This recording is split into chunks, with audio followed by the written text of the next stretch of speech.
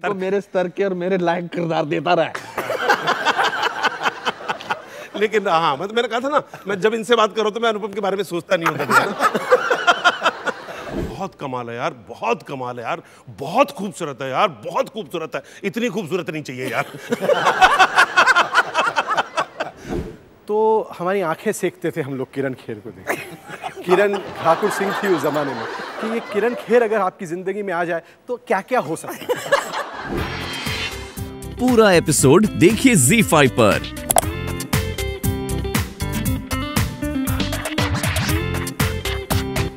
किरण साहिबा, फ़ौरन तशरीफ़ लाएँ, स्टेज पर आएँ। आइए किरण जी।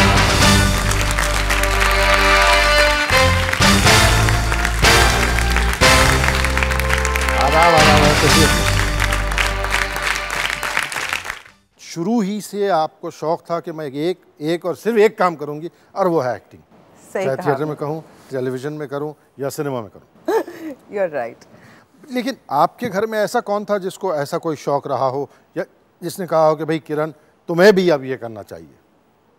किसी ने ये नहीं कहा कि ये भी करना चाहिए लेकिन मेरी माँ my mother was a wonderful actress in on stage in college and जब हम कॉलेज में गवर्नमेंट कॉलेज चंडीगढ़ में गए तो ये गवर्नमेंट कॉलेज लायलपुर में पड़ी हुई हैं। तो वो कुछ जो पुरानी प्रोफेसर्स थी उनके ज़माने की जब मुझे मिली तो उन्होंने कहा अरे तुम जीती की बेटी हो। तभी तो because my mother was the captain of all the teams in sports she was the best allround student for four years she stood first every time and she was a great actress and she was a great cinema aesthete अच्छा cinema appreciate करना देखना सराहना मुझे मेरी माँ से मिला विरासत में। प्लीज़ तशरीफ़ लाएँ?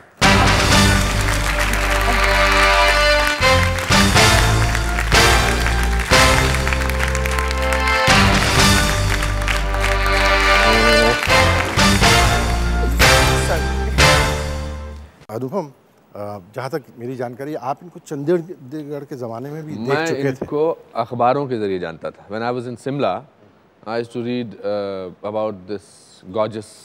Girl and uh, two sisters Kiran Kiran Thakur Singh and Kamal Thakur Singh brilliant actresses brilliant sports person then I went to Indian Theatre Department of Indian Theatre then she was there and I met her during the rehearsal of a play called Mirza Sahiba and but it was जैसे वो दूर से देखने वाली मुलाकात बात नहीं नहीं मुलाकात होती मतलब इनकी तरफ इन्होंने एक सरसरी नजर मुझ पे डाली थी और मैं निकल गया था अपने लाइब्रेरी की तरफ जी or but I, what I remembered about her bebak laughter and full of life and yet normal, yet down to earth, yet still larger than life. But then I think life moved ahead and I did some plays, but she liked me very much in my plays. I did. I liked him as a friend also.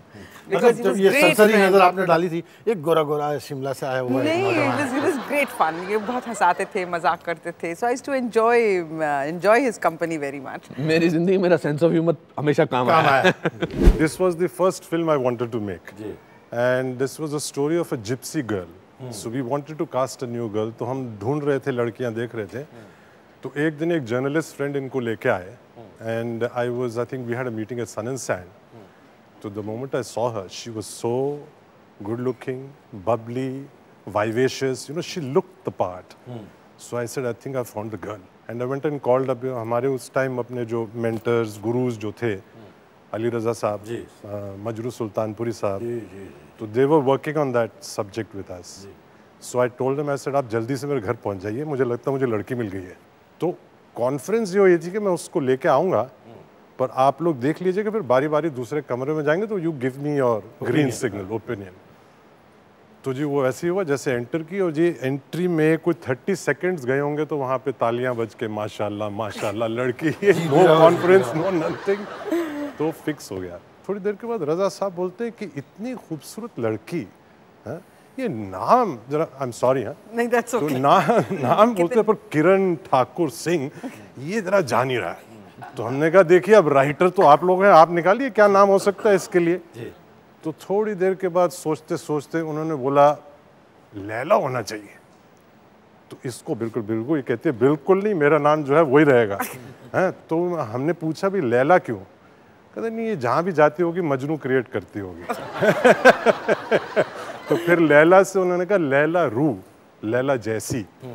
And she said she said I am doing this film but I will never keep my name as Laila Roo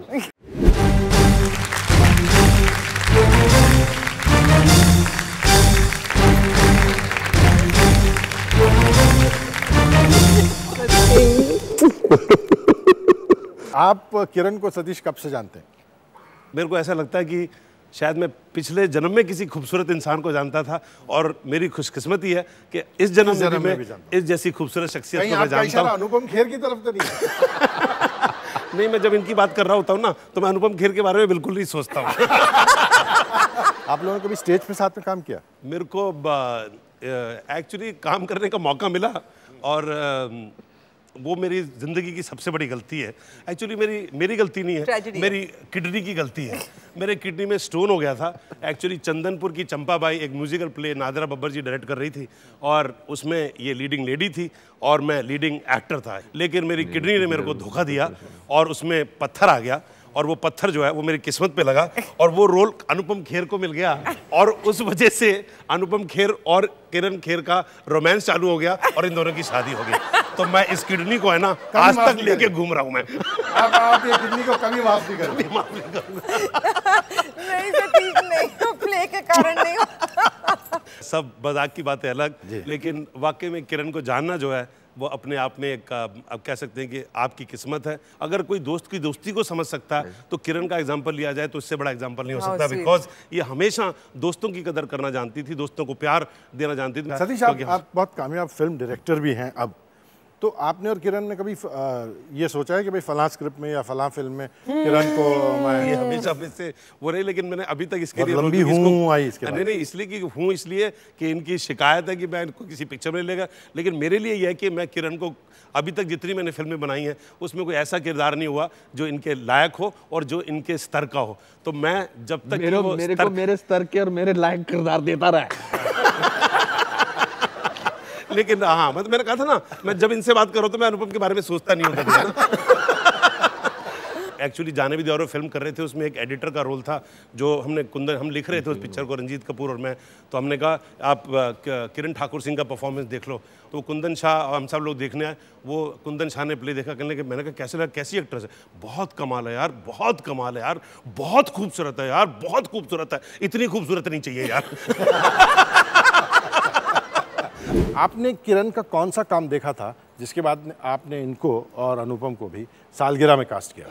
अ, मैंने इनके place तो देखे थे चम अ, चंदनपुर। चंदनपुर की चंपाबाई चंपाबाई। मैंने देखा था लेकिन जहाँ तक कि मेरा जो इम्प्रेशन था किरण का वो दो किस्म का था। एक तो ये था कि हम लोग जब पृथ्वी थिएटर में बैठे रहते करते थे तो हमारी आँखें सेकते थे हम लोग किरण खेर को देखते किरण ठाकुर सिंह थी उस ज़माने में। तो मेरा हमेशा मुझे ऐसा लगता था कि अगर समर ऑफ़ 42 बनाना है तो वो किरण खेर के साथ बनाना। क्योंकि एक किस्म की फैंटेसी थी कि ये किरण खेर अगर आपकी ज़िंदगी में आ जाए तो क्या क्या हो सकता है? तो ये एक अपना किरण खेर के साथ में था। लेकिन जब ये बात मेरी तरफ़ आई जब हमने पहले कास्ट अनुपम को किया गया था क्योंकि okay, अनुपम अ, बहुत माहिर एक्टर हैं बहुत ही मंझे हुए और उस रोल में बहुत जचते हैं। और उस रोल में बिल्कुल फिट थे वो। तो जब ये बात मेरी तरफ़ आई कि किरण को लेना है तो मैं ज़रा थोड़ा स्केप्टिकल था क्योंकि मेरे इंप्रेशंस कुछ बहुत ही कंफ्यूज थे। So between my own feelings towards her and my impression about her और उसके साथ साथ इनके बारे में इनका टेम्परामेंट भी जो था, वो काफ़ी फ़ेमस था कि किरण जी है, वो एक किस्म का टेम्परामेंट है उनका। तो कई बार ऐसा होता है एक्टरों का reputation comes before they enter so इनका वो रेपुटेशन था।